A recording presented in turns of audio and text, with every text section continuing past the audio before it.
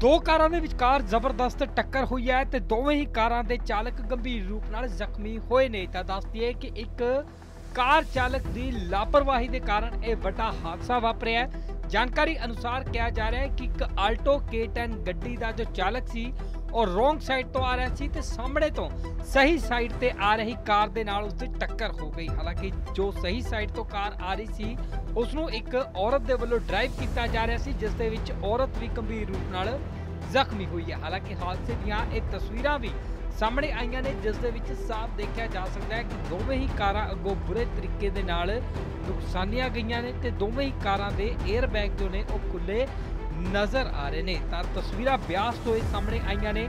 ਹਾਲਾਂਕਿ ਮੌਕੇ ਦੇ ਉੱਤੇ ਐਸਐਸਐਫ ਦੀ ਟੀਮ ਵੀ ਪਹੁੰਚੀ, ਜਿਨ੍ਹਾਂ ਨੇ ਜ਼ਖਮੀਆਂ ਨੂੰ ਤੁਰੰਤ ਇਲਾਜ ਦੇ ਲਈ ਹਸਪਤਾਲ ਦੇ ਵਿੱਚ ਦਾਖਲ ਕਰਵਾਇਆ। ਪਰ ਹੁਣ ਮੌਕੇ ਦੇ ਉੱਤੇ ਪਹੁੰਚੀ ਪੁਲਿਸ ਦੇ ਵੱਲੋਂ ਇੱਕ ਖੁਲਾਸਾ ਕੀਤਾ ਗਿਆ ਕਿ ਜੋ ਅਲਟੋ ਕਾਰ ਸੀ, ਉਹ ਰੋਂਗ ਸਾਈਡ ਤੋਂ ਆ ਰਹੀ ਸੀ ਅਤੇ ਚੁਰਸਤਾ ਹੋਣ ਦੇ ਕਾਰਨ ਜਦੋਂ ਇੱਕ ਕਾਰ ਉੱਥੇ ਮੁੜਨ ਲੱਗੀ ਤਾਂ ਸਾਹਮਣੇ ਤੋਂ ਰੋਂਗ ਸਾਈਡ ਤੋਂ ਆ ਰਹੀ ਅਲਟੋ ਕਾਰ ਨੇ ਉਸ ਨੂੰ ਟੱਕਰ ਮਾਰ ਦਿੱਤੀ ਜਿਸ ਦੇ ਵਿੱਚ ਦੋਵੇਂ ਹੀ ਕਾਰਾਂ ਬੁਰੇ ਤਰੀਕੇ ਦੇ ਨਾਲ ਨੁਕਸਾਨੀਆਂ ਗਈਆਂ ਨੇ। ਤਾਂ ਬਿਆਸ ਤੋਂ ਇਹ ਤਸਵੀਰਾਂ ਸਾਹਮਣੇ ਆਈਆਂ ਨੇ ਜਿਸ ਦੇ ਵਿੱਚ ਦੋਵੇਂ ਕਾਰਾਂ ਫੁੱਟੀਆਂ ਹੋਈਆਂ ਗੋਦੀ ਨਜ਼ਰ ਆ ਰਹੀਆਂ ਨੇ।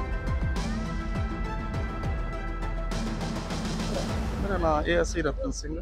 ਸਰ ਕੀ ਮਾਮਲਾ ਹੈਗਾ ਜੀ ਸਾਰਾ ਇੱਥੇ ਸਾਨੂੰ ਫੋਨ ਗਿਆ ਸੀ ਹੁਣੇ ਵੀ ਦੋਨਾਂ ਗੱਡੀਆਂ ਦਾ ਕੋਈ ਐਕਸੀਡੈਂਟ ਹੋ ਗਿਆ ਆਪਸ ਵਿੱਚ ਵਜਨ ਕਰਕੇ। ਕਿਹੜੀ ਤੇ ਇਹ ਬਿਆਸ ਬਿਆਸ ਜਾਂਦਾ ਹੈ ਜਿਹੜਾ ਡੇਰੇ ਨੂੰ ਰਸਤਾ ਜਾਂਦਾ ਨਾ।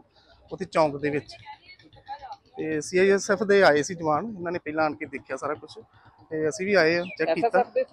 ਸੌਰੀ ਐਸਐਸਐਫ ਦੇ ਤੇ ਉਹ ਆਣ ਕੇ ਦੇਖਿਆ ਸਾਰਾ ਦੇਖਿਆ। ਇਹਨਾਂ ਨੂੰ ਕਾਫੀ ਇੰਜਰਡ ਹੋਏ। ਦੋ ਜਣੇ ਜ਼ਖਮੀ ਨੇ।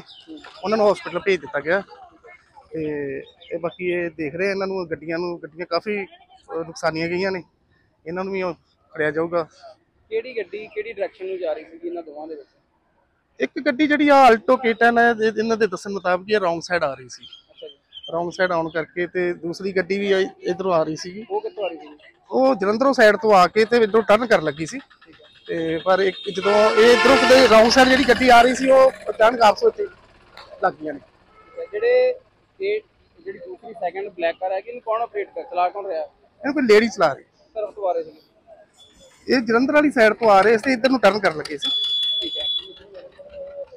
ਕੀ ਹੁਣ ਜ਼ਖਮੀ ਜਿਹੜੇ ਹੈਗੇ ਉਹ ਕਿਹੜੀ ਗੱਡੀ ਦੇ ਦੋਨਾਂ ਦੇ? ਦੋਨਾਂ ਦੇ ਦੋਨਾਂ ਗੱਡੀਆਂ ਦੇ। ਠੀਕ ਹੈ ਕਿੰਨੇ ਜਣੇ ਹੈਗੇ ਜੀ ਦੋ ਜਣੇ ਦੋ ਜਣੇ ਜ਼ਖਮੀ ਨੇ ਹਸਪੀਟਲ ਚ ਐਡਮਿਟ ਨੇ ਤੇ ਬਾਕੀ ਜੋ? ਬਿਆਸ ਡੇਰੇ ਹਸਪੀਟਲ ਵੀ ਕਈ ਤਰ੍ਹਾਂ ਦੇ ਹੁਣ ਗੱਡੀਆਂ ਜਿਹੜੀਆਂ ਇਥੋਂ ਕੋਈ ਕਾਰਵਾਈ ਜਿਹੜੀ ਹੈਗੀ ਹੁਣ ਹਾਂਜੀ ਹਾਂਜੀ ਹੁਣ ਇਦਾਂ ਹੀ ਬਸ